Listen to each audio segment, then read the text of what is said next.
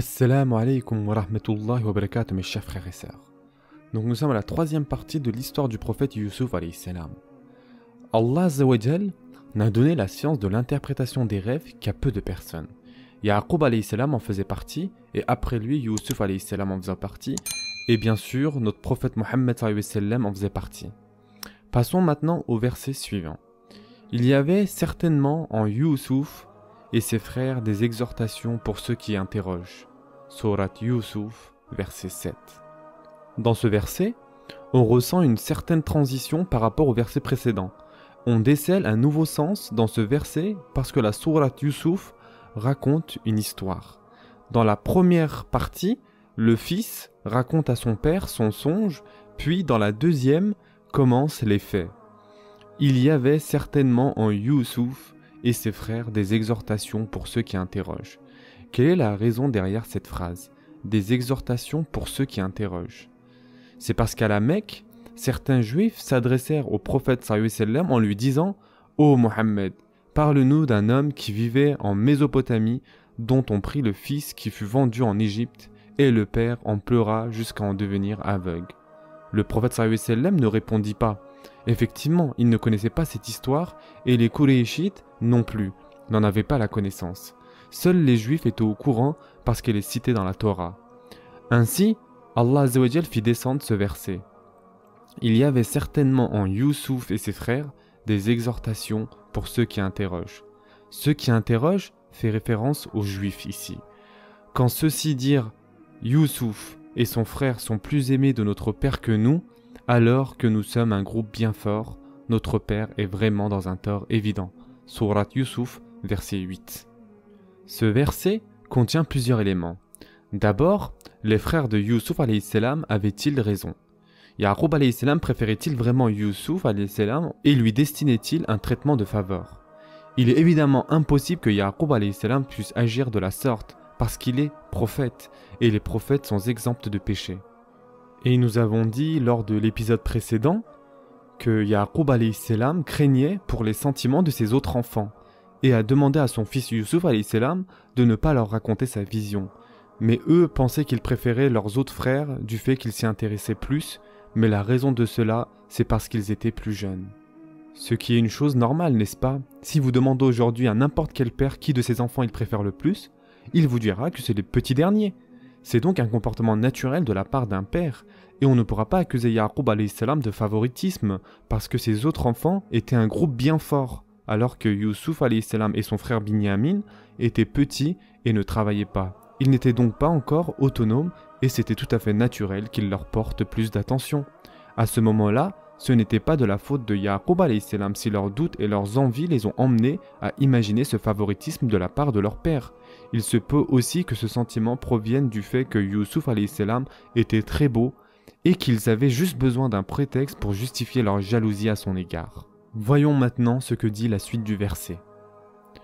Quand ceux-ci dirent Youssouf et son frère sont plus aimés de notre père que nous, alors que nous sommes un groupe bien fort, notre père est vraiment dans un tort évident.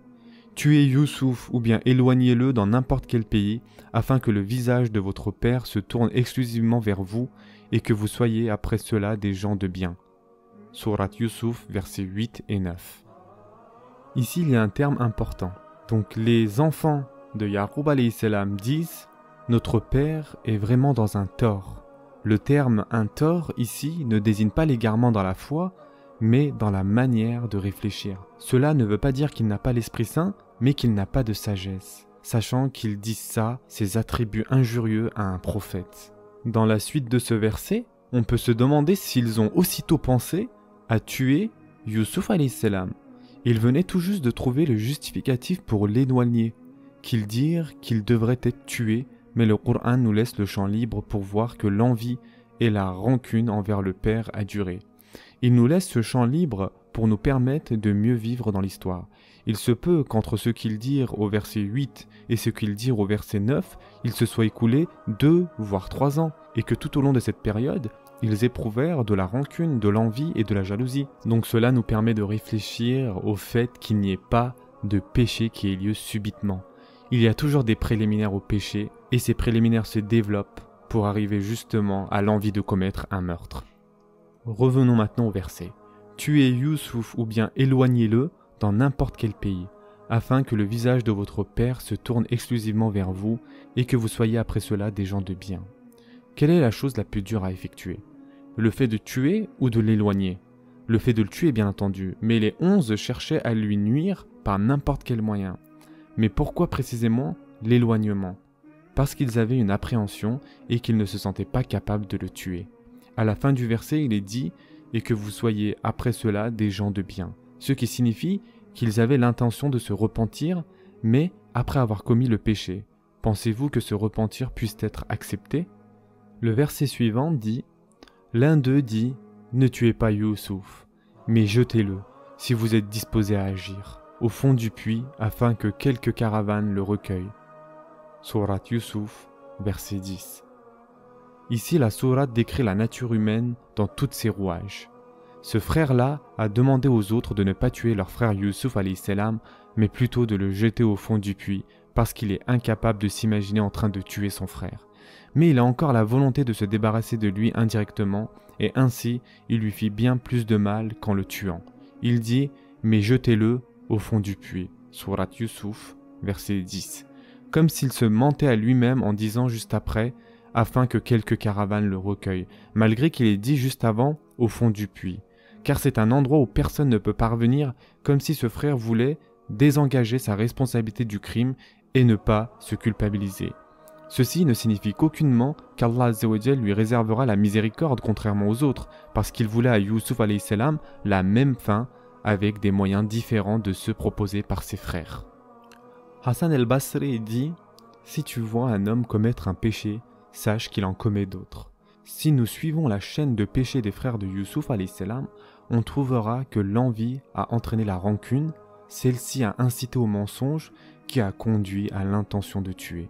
Les choses ne s'arrêtent pas là et continuent davantage.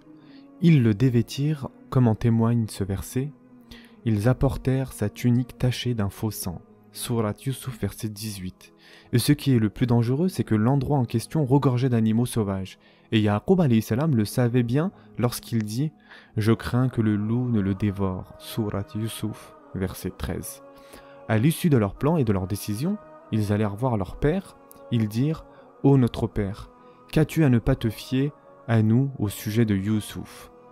Surat Yusuf, verset 11. On remarque que le premier terme utilisé est Qu'as-tu à ne pas te fier à nous? Il y a un proverbe qui dit Celui qui commet le mal est sur le point de se dévoiler car quiconque ment ou projette de commettre un fait répréhensible peut facilement se dévoiler lui-même, et on voit là toute la beauté du Qur'an qui fait découvrir l'âme humaine. Ils dirent Ô notre Père, qu'as-tu à ne pas te fier à nous au sujet de Youssouf? Nous sommes cependant bien intentionnés à son égard. Envoie-le demain avec nous faire une promenade et jouer, et nous veillerons sur lui. Surat Youssouf, versets 11 et 12. Donc ses frères lui dirent Envoie-le demain avec nous faire une promenade et jouer. On parle ici de jouer. Comprenez la religion dans son ensemble. L'islam inclut le repos, la pause et il inclut le sport et l'excursion. Et il englobe la jouissance de la vie tant que tu ne désobéis pas à Allah Pour preuve, le Qur'an lui-même a affirmé le mot jouer. Il l'a rapporté. Tant que tu ne désobéis pas à Allah pourquoi a-t-il affirmé cela dans le Qur'an? Parce que cela est recommandé pour la jeunesse. Faites attention au fait que ceux-là étaient tous des jeunes, et il est recommandé de jouer et de sortir. Envoie-le demain avec nous faire une promenade et jouer, et nous veillerons sur lui. Il dit certes, je m'attristerai que vous l'emmeniez, et je crains que le loup ne le dévore dans un moment où vous ne ferez pas attention à lui.